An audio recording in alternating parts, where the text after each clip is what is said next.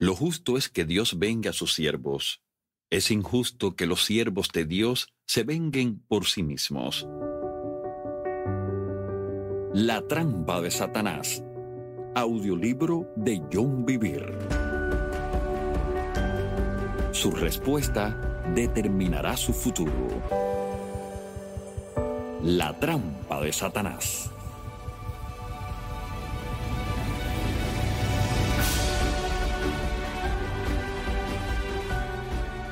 Capítulo 5. Cómo nace un vagabundo espiritual. Y dijo a sus hombres, Jehová me guarde de hacer tal cosa contra mi Señor, el ungido de Jehová, que yo extienda mi mano contra él, porque es el ungido de Jehová. Así reprimió David a sus hombres con palabras, y no les permitió que se levantasen contra Saúl. Primera de Samuel 24, 6 y 7.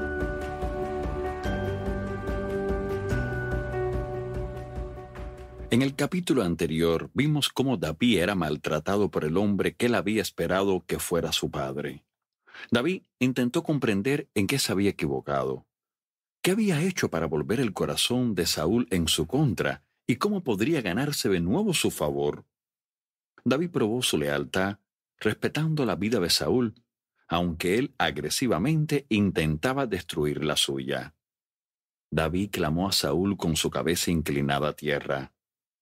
Mira que no hay maldad ni traición en mi mano, y que no he pecado contra ti. Una vez que David supo que le había demostrado a su líder que le era leal, quedó en paz. Luego se enteró de otra mala noticia.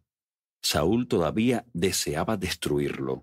No obstante, David se negó a levantar la mano contra el que buscaba matarlo, aunque Dios había hecho caer en un profundo sueño a todo el ejército y le había dado un compañero que le rogaba que le permitiera matar a Saúl. De alguna manera, David sentía que este ejército dormido tenía otro propósito, probar su corazón. Dios deseaba comprobar si David mataría para establecer su reino, como Saúl, o le permitiría a él establecer su trono en justicia para siempre. No os venguéis vosotros mismos, amados míos, sino dejad lugar a la ira de Dios, porque escrito está, Mía es la venganza, yo pagaré, dice el Señor. Romanos 12, 19. Lo justo es que Dios venga a sus siervos. Es injusto que los siervos de Dios se venguen por sí mismos. Saúl era un hombre que tomaba la venganza en sus propias manos. Persiguió a David, un hombre de honor, durante catorce años y mató a los sacerdotes y sus familias. Mientras David contemplaba a Saúl durmiendo, se enfrentó a una importante prueba, una prueba que revelaría si David conservaba aún el noble corazón de un pastor o tenía la inseguridad de un nuevo Saúl. ¿Seguiría siendo un hombre conforme al corazón de Dios? Al principio es mucho más fácil tomar los asuntos en nuestras propias manos, en lugar de esperar al Dios justo. Dios prueba a sus siervos con la obediencia nos coloca de forma deliberada en situaciones en que los patrones religiosos y sociales, aparentemente, justifican nuestras acciones. Permite que otros, en especial los que están más cerca de nosotros, nos animen a protegernos a nosotros mismos. Quizá hasta pensemos que es noble defendernos, que de esa manera protegemos a otras personas. Sin embargo, así no es como Dios obra. Ese es el camino que sigue la sabiduría del mundo. Es terrenal y carnal. Cuando pienso en la oportunidad que tuve de exponer el pecado de ese líder que estaba en autoridad sobre mí, recuerdo que luché con el pensamiento de que él podría herir a otros si no lo hacía. Continuamente pensaba, solo diré la verdad. Si no lo hago, ¿cómo terminará todo esto? Otras personas me alentaban a que lo descubriera. No obstante, hoy sé que Dios me dio esa información con un motivo, probarme. ¿Haría lo mismo que el hombre que deseaba destruirme? ¿O permitiría que Dios juzgara o mostrara su misericordia si ese hombre se arrepentía?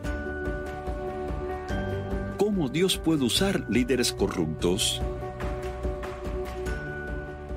Muchas personas se preguntan, ¿Por qué Dios pone a las personas bajo líderes corruptos que cometen errores graves e incluso de algunos que son malvados? Si estudiamos la niñez de Samuel, ve el primera de Samuel del capítulo 2 al 5, veremos que fue Dios, no el diablo, quien puso a este jovencito bajo la autoridad de un sacerdote corrupto llamado Elí y sus dos malvados hijos, Ofni y Fines, que también eran sacerdotes. Estos hombres eran en verdad malignos, tomaban ofrendas por medio de la manipulación y la fuerza, y cometían fornicación con las mujeres que se reunían a la puerta del tabernáculo. ¿Puede usted imaginarse lo que sería servir a un ministro que viviera esta clase de vida? Un ministro tan insensible a las cosas del espíritu que no supiera reconocer a una mujer que oraba y la acusara de haberse emborrachado, tan pusilánime que no hiciera nada con respecto a sus hijos, a quienes él había designado como líderes, y que cometían fornicación en la misma iglesia. La mayoría de los cristianos de hoy se ofendería y buscaría otra iglesia, y al irse les hablaría a los demás del nefasto estilo de vida de su anterior pastor y sus líderes. En medio de tal corrupción, me agravan las palabras que registran lo que hacía el joven Samuel, el joven Samuel ministraba a Jehová en presencia de Elí. Primera de Samuel 3.1. Con todo, la corrupción hacía sentir sus efectos y la palabra de Jehová escaseaba en aquellos días. No había visión con frecuencia. Primera de Samuel 3.1. Dios parecía distante para toda la comunidad hebrea. La lámpara de Dios estaba a punto de apagarse en el templo del Señor. Sin embargo, ¿Acaso Samuel buscó otro lugar para adorar? Acudió a los líderes para poner al descubierto la maldad de Elí y sus hijos. Formó un comité para sacar a Elí y a sus hijos del pastorado. No, él ministraba al Señor. Dios había puesto allí a Samuel y él no era responsable por el comportamiento de Elí o sus hijos. Había sido colocado allí no para juzgarlos, sino para servirlos. Él sabía que Elí era siervo de Dios, no suyo. Sabía que Dios podía manejar él mismo a sus siervos. Los hijos no corrigen a los padres. No obstante, es deber de los padres corregir y capacitar a sus hijos. Debemos confrontar a aquellos que Dios nos ha dado para que capacitemos. Esa es nuestra responsabilidad. Debemos alentar y exhortar como hermanos a los que se encuentran a nuestro mismo nivel. Sin embargo, en este capítulo, como en el anterior, estoy hablando de la forma en que respondemos a los que están en autoridad sobre nosotros. Samuel servía al líder designado por Dios de la mejor forma posible, sin la presión de juzgarlo o corregirlo. La única vez que Samuel habló una palabra de corrección fue cuando Elí vino a él y le preguntó qué profecía le había dado Dios la noche anterior. Con todo, aun entonces, no se trató de una palabra de corrección de Samuel, sino de Dios. Nuestras iglesias serían muy diferentes si más personas actuaran según esta verdad. Las iglesias no son cafeterías. Hoy hombres y mujeres dejan rápidamente la iglesia si ven que sus líderes se equivocan en algo. Quizás sea la manera en que el pastor recoge la ofrenda. Tal vez sea la forma en que se utiliza el dinero.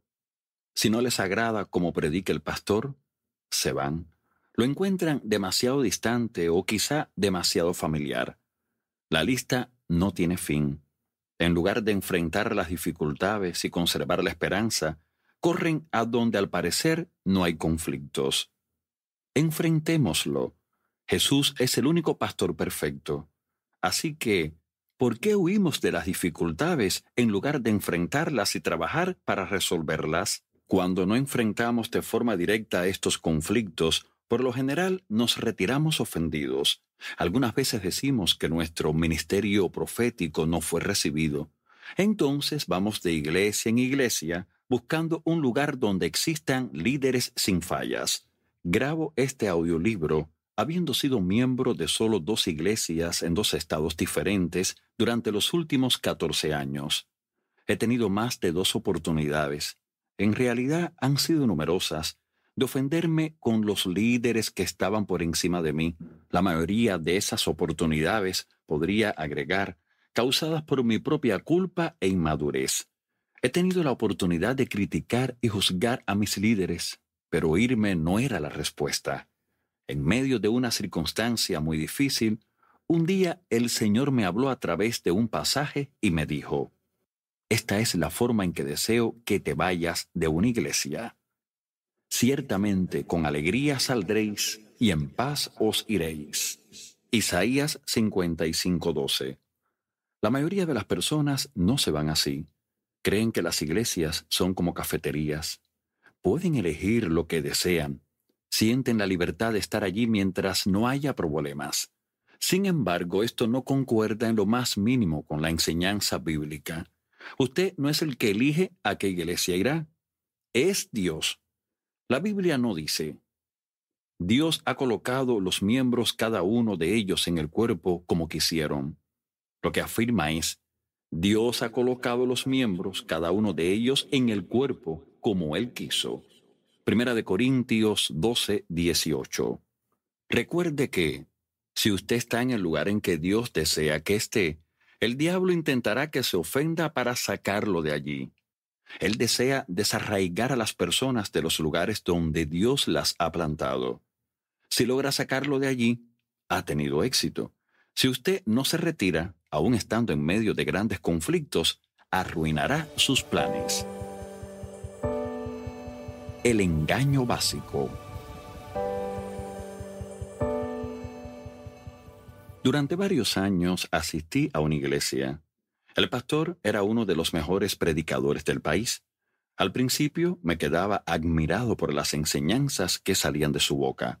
El tiempo fue pasando y debido a mi posición desde la que servía al pastor, pude ver de cerca sus fallas. Así que cuestioné algunas de las decisiones que tomaba para el ministerio. Comencé a criticarlo y juzgarlo, y llegué a sentirme ofendido. Él predicaba y yo ya no sentía inspiración ni unción alguna. Su predicación ya no me ministraba. Otra pareja de la iglesia, que eran amigos nuestros y también integraban el equipo pastoral, al parecer opinaba lo mismo.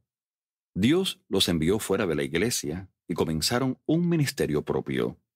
Entonces nos pidieron que fuéramos con ellos, sabiendo cuánto estábamos luchando nos animaban a que siguiéramos el llamado que había sobre nuestras vidas.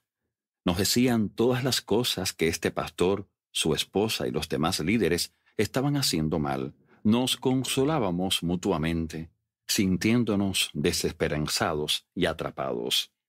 Ellos parecían sinceramente preocupados por nuestro bienestar. No obstante, nuestras conversaciones solo avivaban el fuego del descontento y la ofensa.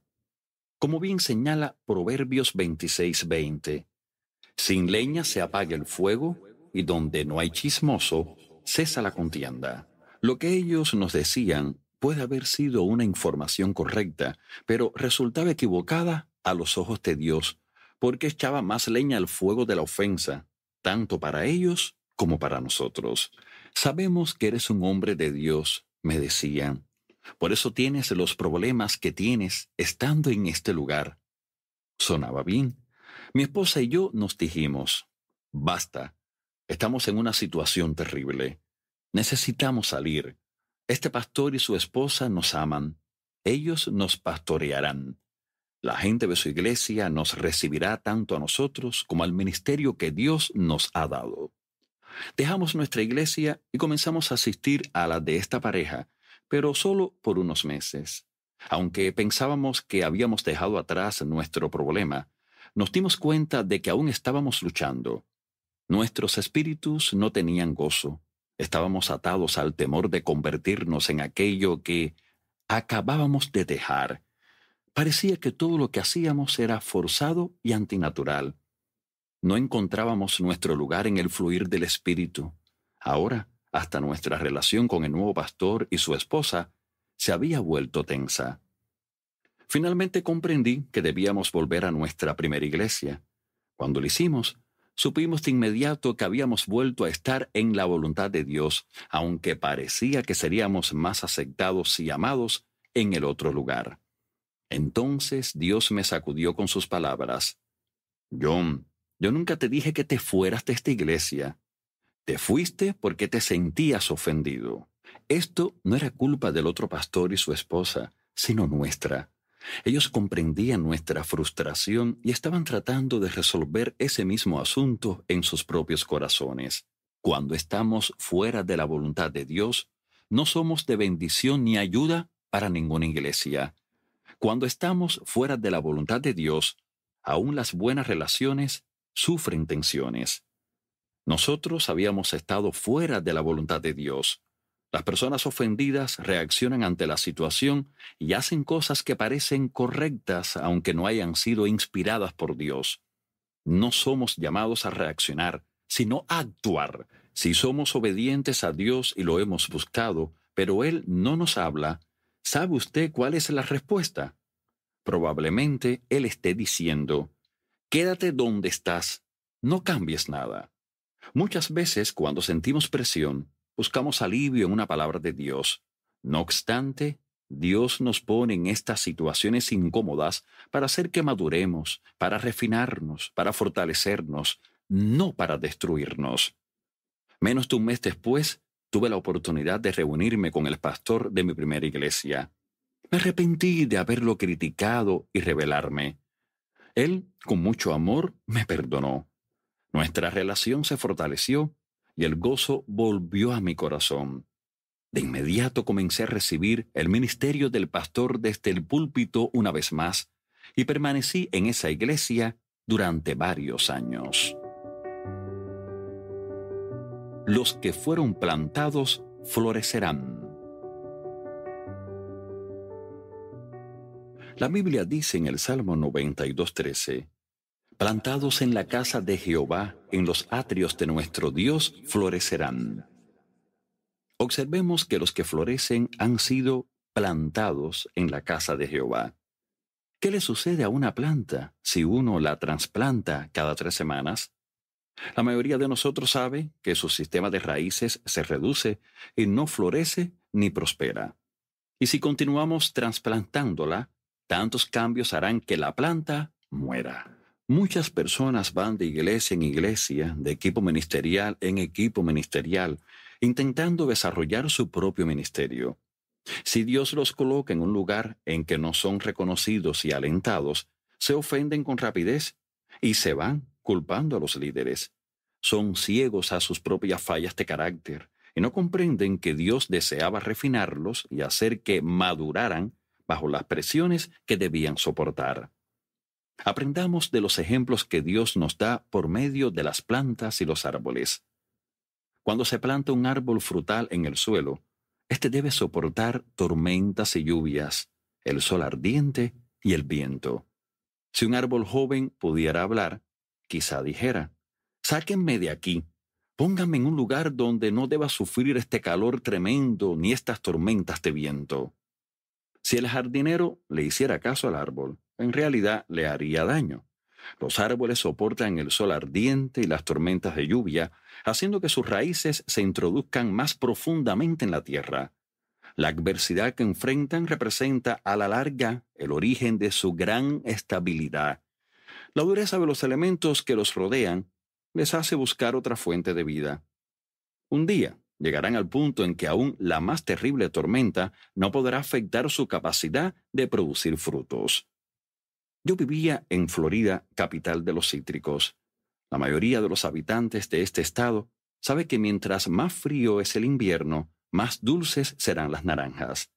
Si no huyéramos tan prontamente de la resistencia espiritual, nuestros sistemas de raíces se volverían más profundos y fuertes, y nuestro fruto sería más abundante y dulce a los ojos de Dios, y más apetitoso para su pueblo.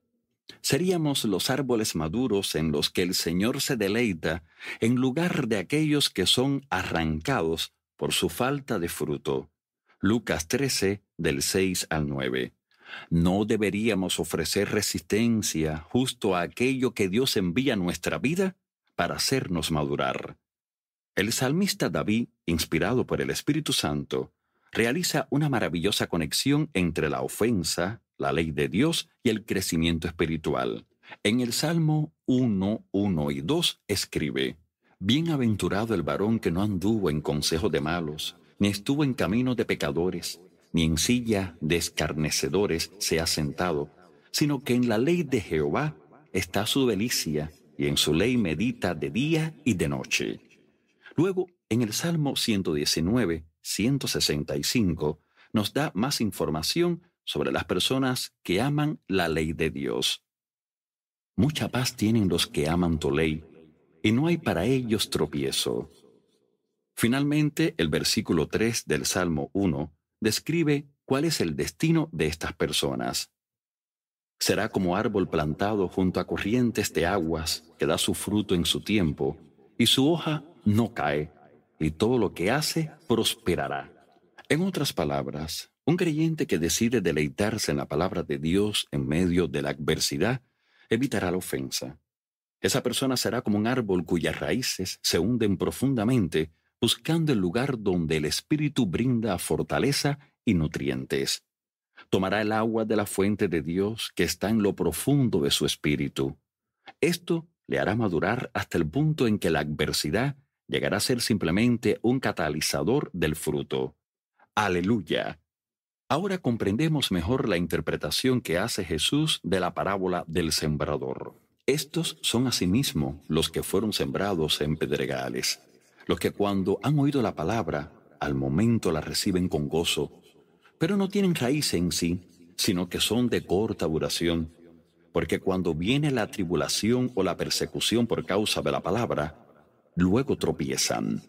Marcos 4, 16, 17. Una vez que dejamos el lugar que Dios ha elegido para nosotros, nuestro sistema de raíces comienza a debilitarse. La próxima vez nos será más fácil huir de la adversidad porque hemos tenido cuidado de no echar raíces profundas. Finalmente llegamos a un punto en que casi no tenemos fuerzas para soportar las persecuciones o las dificultades.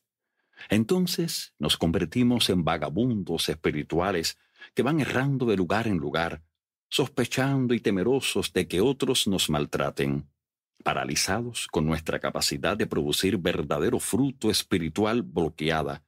Luchamos en medio de una vida centrada en nosotros mismos, comiendo los restos de los frutos de los demás. Observemos a Caín y Abel, los primeros hijos de Adán. Caín le trajo a Dios una ofrenda proveniente del trabajo de sus propias manos, el fruto de su viña. El fruto había sido producido con mucho esfuerzo. Caín tenía que quitar todas las piedras, malas hierbas y otros obstáculos del suelo. Tenía que arar y cultivar la tierra. Tenía que plantar, regar, fertilizar y proteger sus cosechas. Puso mucho empeño en su servicio para Dios. Sin embargo, se trataba de su propio sacrificio más que de la obediencia al camino que Dios deseaba para él. Esto simbolizaba adorar a Dios con nuestras propias fuerzas y capacidades, más que por la gracia del Señor. Abel, por otra parte, trajo una ofrenda de obediencia, el primogénito escogido de su ganado. No trabajó tanto para obtenerlo como Caín, pero era algo muy querido para él. Ambos hermanos seguramente sabían que su padre y su madre habían intentado cubrir su desnudez con hojas de higuera, que representaban sus propias obras para cubrir sus pecados. No obstante, Dios les mostró lo que era un sacrificio aceptable a Él, cubriendo a Adán y Eva con la piel de un animal inocente. Adán y Eva no sabían que su forma de cubrir el pecado era inadecuada. Sin embargo, una vez que Dios se los mostró, ya no lo ignoraron, ni tampoco sus hijos. Caín había tratado de ganar la aceptación de Dios sin seguir su consejo. Dios respondió mostrándole que aceptaría a aquellos que vinieran a él según sus parámetros de gracia, el sacrificio de Abel, y rechazaría lo que fuera intentado desde el conocimiento del bien y del mal, es decir, las obras religiosas de Caín. Luego le indicó a éste que si hacía el bien, sería aceptado, pero si no elegía la vida, el pecado se enseñorearía de él. Caín se ofendió con el Señor. En lugar de arrepentirse y hacer lo bueno, permitiendo que esta situación fortaleciera su carácter, descargó su ira y su ofensa con Dios, actuando contra Abel, y lo asesinó. Entonces Dios le dijo a Caín, Ahora, pues, maldito seas tú de la tierra, que abrió su boca para recibir de tu mano la sangre de tu hermano. Cuando labres la tierra, no te volverá a dar su fuerza. Errante y extranjero serás en la tierra. Génesis 4, 11, 12. Lo que Caín más temía, es decir, ser rechazado por Dios, fue lo que atrajo como juicio sobre sí mismo. El medio por el cual intentara ganar la aprobación de Dios era ahora maldito por su propia mano. El derramamiento de sangre ahora producía una maldición. La tierra ya no le daría su fuerza. El fruto sería producido solo por medio de un gran esfuerzo. Los cristianos ofendidos también cortan su propia posibilidad de producir fruto. Jesús comparó el corazón con la tierra en la parábola del sembrador. Así como los campos de Caín eran duros, el suelo de un corazón ofendido es duro, estéril, emponzoñado por la amargura. La persona ofendida puede experimentar milagros, palabras proféticas, una predicación poderosa y sanidad en su vida. No obstante, estos son dones del Espíritu, no su fruto. Seremos juzgados por nuestro fruto, no por los dones. El don es dado, el fruto es cultivado. Observemos que Dios dijo que, a consecuencia de lo que había hecho, Caín sería un errante, un vagabundo, un fugitivo. Hay muchos fugitivos y vagabundos espirituales en nuestras iglesias en la actualidad. Si sus dones de canto, predicación, profecía y otros no son recibidos por los líderes de su iglesia, se van. Corren sin rumbo y llevan sobre sí su ofensa, buscando esa iglesia perfecta que reciba su don y sane sus heridas se sienten golpeados y perseguidos, sienten como si fueran los Jeremías de la época actual. Están solo ellos y Dios, con todos los demás en su contra. Se convierten en personas que no pueden aprender. Desarrollan lo que yo llamo un complejo de persecución. Todos están contra mí. Se consuelan pensando que son santos o profetas de Dios perseguidos. Sospechan de todos esto es exactamente lo que le sucedió a Caín. Observe lo que él dice. He aquí me echas hoy de la tierra, y de tu presencia me esconderé, y seré errante y extranjero en la tierra, y sucederá que cualquiera que me hallare, me matará. Génesis 4:14. Notemos que Caín sufría de ese complejo de persecución. Todos querían destruirlo. Lo mismo sucede en la actualidad. Las personas que se sienten ofendidas creen que todos están en su contra. Con esta actitud es difícil que vean áreas de su propia vida que necesitan cambiar. Así que se aíslan, se desvían y se conducen de una manera tal que invita al maltrato. Su deseo busca el que se desvía y se entremete en todo negocio. No toma placer el necio en la inteligencia. Proverbios 18.1. Dios no nos creó para que vivamos aislados, independientes unos de otros. Él disfruta cuando ve que sus hijos se cuidan y se nutren unos a otros. Lo frustra ver que nos ponemos de mal humor y nos autocompadecemos, que nuestra felicidad depende de todos los demás. Él desea que seamos miembros activos de la familia. Desea que recibamos nuestra vida de Él una persona desviada busca solo su propio deseo, no el de Dios. No recibe consejo y se predispone al engaño. No estoy hablando de los periodos en que Dios llama aparte a un individuo para equiparlo y darle una nueva frescura a su vida. Estoy describiendo a los que se han aprisionado ellos mismos. Van vagando de iglesia en iglesia, de relación en relación, y se aíslan en su propio mundo creen que todos los que no concuerdan con ellos están equivocados y en su contra. Se protegen en su aislamiento y se sienten seguros en el ambiente controlado que han creado para sí mismos. Ya no tienen que confrontar las fallas de su carácter. En lugar de enfrentar las dificultades, intentan escapar de la prueba. Y así impiden el desarrollo del carácter que se produce solamente a medida que uno trabaja para resolver los conflictos, porque el ciclo de la ofensa vuelve a comenzar.